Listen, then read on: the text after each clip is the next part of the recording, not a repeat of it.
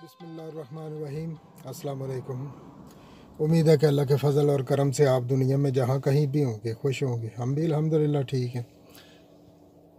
नाजरीन, मेरा नाम अकमल चौधरी और आप देख रहे हैं Lahore to London YouTube channel. नाजरीन, जब ये छः आठ हफ़्ते पहले वो सलाब की तबाहकारियाँ थी ना तो बहुत सारे दोस्त इस पर बातचीत कर रहे थे या कि दिखा रहे थे जितना नुकसान हुआ है या जिस तरह का। तो एक मेरा प्यारे दोस्त हैं कि वो भी यूट्यूब पे कभी कभार अपलोड करते हैं वीडियो तो उन्होंने वीडियो के शुरू में कहा कि जैसा कि हम कहते हैं ना, खैर खरीत दुआ अपने लिए भी करते हैं और जो देखने वाले हैं उनके लिए भी। जैसे कि मैंने शुरू में कहा। तो शुरू में उसने, उन्होंने कहा कि हर सू खैर ही तो नहीं है। तो नाजरीन, आज का जो अफसोसनाक वाक़ हुआ इमरान खान के हवाले से मैं उस पर बात करना चाहता हूँ।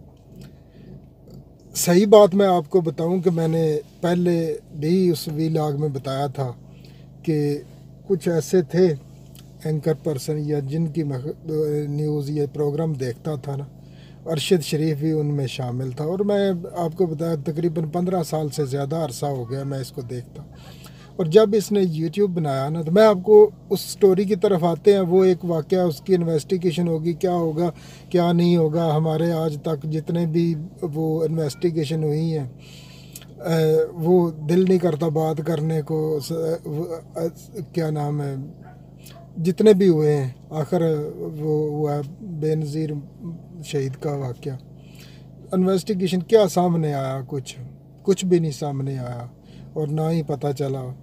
इनका क्या पता चलेगा? अरशद शरीफ का क्या पता चलेगा? ये ऐसे ही होता है, जैसा कि पंजाबी में कहते हैं, वो गोंगलों से मिट्टी, वो गोंगलों से मिट्टी हटाई जाएगी। तो मैं आपको बात कर रहा था कि मैंने वो सोचा कि पहले भी बात करूँ, लेकिन नहीं कर पाया। और मैं उससे अफेक्ट हुआ उस वाक्य से। कि मेरा उससे एक ना बहुत जो गहरा था वो देखने, व्यू, जैसे आप किसी भी यूट्यूबर की कोई वीडियो देखते हैं तो अगर वो थोड़ी लेट होती है तो आप पूछते हैं ना, या कि आपको इंतज़ार होता है। अब भी और भी हैं, मैं जिनको देखता हूँ। फॉर एग्ज़ाम्पल इमरान रियाज ख़ान का दो टाइम होता है वी लाग वो मैं सुनता हूँ सुबह में भी और शाम में भी। और ये ऐसे नहीं कि वैसे ही। और जब मैं फ्री होता हूँ, बिल्कुल एब्सोल्युटली फ्री या कि बिल्कुल मेरा दिमाग फ्रेश होता है, उस वक्त जैसा कि सुबह चाय साथ रख लेता हूँ, और साथ में उसका जो व्हील आग है, वो सुनता हूँ, और शाम को जब मैं बिस्तर पे जाता हूँ तो और भी दिन में कई आते हैं, लेकिन वो स्पेशली इसी तरह। तो अरशद शरीफ का भी किस्सा कुछ इस तरह था। और जब मैं उसका वीलाग देखता था ना तो नीचे जो कॉमेंट्स होते दिन, ये है स्पेशल चीज़ आज के वीडियो की। तो यकीन मानिए कि जो वो करता था पॉलिटिक्स पे बात करता था या इन्वेस्टिगेशन की बात करता था, उस पे लोग जो है ना, वो दाद बहुत तकरीबन टेन परसेंट दे रहे होते थे कि अच्छी आपने बात बताई या कि बड़ा तजिया खूबसूरत किया। लेकिन जो नीचे उसके अभी भी है ना अरशद शरीफ ऑफिशियल उसका पढ़िए वीडियो आप देख सकते हैं कि 80 से 90 परसेंट जो कमेंट्स हुआ, होते हैं या हैं अभी भी वो इस पे ही हैं। कोई कह रहा है, sir, Allah bless you Allah तुम्हारी हिफाजत फरमाए, कोई भाई कह रहा है, कोई बेटा कह रहा है, यानी कि ख़वान भी उसको इसी तरह कोई भाई कह रही है, कोई बेटा कह रही है, और उसको दुआएँ दी जा रही हैं। और मैं जो, जब देखता था, मुझे भी लगता था इसको बड़े थ्रेट हैं, या मामला इसके हैं, या तो मैं सोचता था कि यार, जितनी दुआएँ लिखी हैं ना, इसमें एक की भी कबूल होगी तो अल्लाह ताला, वो क्या कहते हैं वारे न्यारे हो जाएँगे, इसको इन कुछ भी नहीं होगा। तो वो क्या एक जुमला है कि जवाब, दुआएँ ही बेअसर ठहरी तो असर देखेगा कौन? वो ऐसा हुआ, यानी कि बहुत तकलीफ़ दे वाक्य, और उससे बढ़ के आज जो हुआ, बहुत ही अनफॉर्चुनेट है। यकीन मानिए कि ये पाकिस्तान के साथ पता नहीं क्या करने वाले हैं।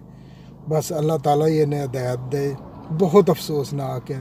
और अल्लाह ताला का करम है और फजल ये है कि अल्लाह ताला ने जान बचा ली। चलो छोटा सा उसमें टांग में गोली लग गई। अल्लाह ताला का रहम ये है, अल्लाह ताला का करम है।